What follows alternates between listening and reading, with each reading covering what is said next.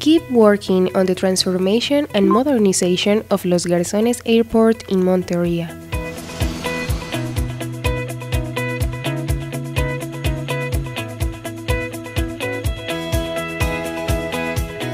Los Garzones Airport is located 10 kilometers away from downtown Monteria City, the capital of Córdoba Department. Los Garzones operates flights to the main cities in the north region of the country, such as Cartagena and Barranquilla, as well as cities like Bogotá, Medellín, and Rio Negro in Antioquia. Currently, this airport covers five national destinations, which include 21 commercial flights on weekdays and 23 of them on Thursdays and Saturdays.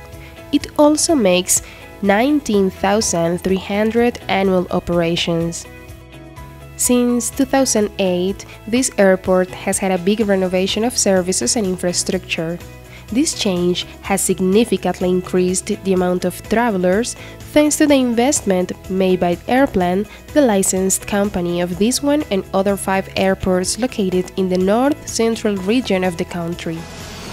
Before getting the license, this airport used to transport around 349,000 travelers, and currently it moves about 906,000 of them. From 2008 until today, Airplan has invested more than 75,000 million pesos, which has also allowed the execution of important works such as the extension of the runway from 1,910 meters to 2,300 meters long and from 35 to 45 meters wide.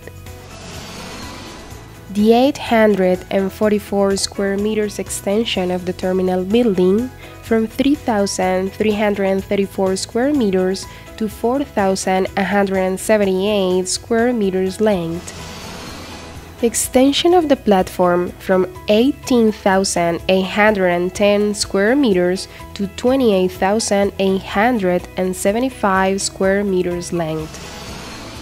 Remodeling of the fire station. Construction of a new cargo terminal with an 830 square meters length.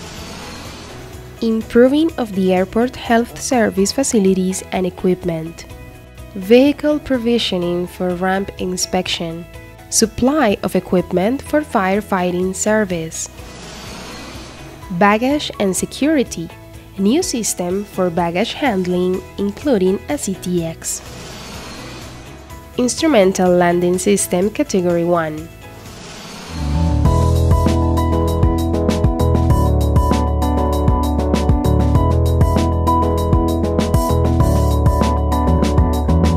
These improvements and the market needs have made the airport require new works, which have been authorized by the Colombian government with an additional investment that goes over 56,000 million pesos.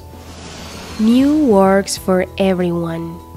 Extension of Travelers Terminal Building the Airport Travelers Terminal building has been extended from 4,178 square meters to 9,137 square meters in all its areas, keeping to standards for Level C service established by the International Air Transport Association. This work includes a 4,959 square meters extension of the terminal, a new boarding room. The current one is 615 square meters length. It will be extended by 313 square meters to get a total area of 928 square meters. The construction of a new arrivals hall with an extra baggage claim band it would also be extended by an extra 140 square meters for a total area of 370 square meters, increasing in the amount of check-in counters. Currently, this airport has 17 check-in counters. There will be constructed 5 more for a total of 22 of them. Extension of the airport food court setting of electric stairs, fitting out of the taxi service zone, Extension of the energy availability. Departures hall will be extended in 460 square meters, having as a result a bigger and more comfortable area of 822 square meters. The arrivals hall, which currently has an area of 81 square meters, will be extended in 278 square meters for a total area of 359 square meters. There will be an extra security control system for a total of two of them, warranting more agility and comfort.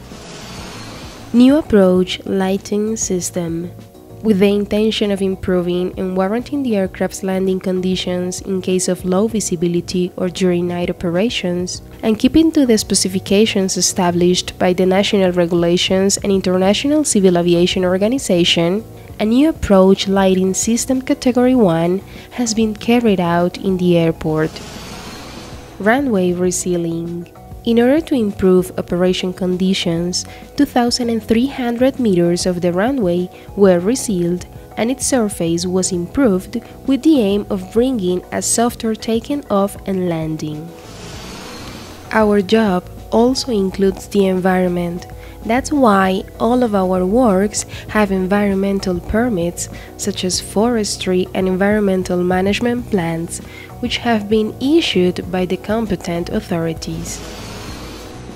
These works make part of a big challenge that will help us improving the connection and having a better airport, but this will only be possible by having the support of those who make part of our day-to-day -day work at the airport Los Garzones.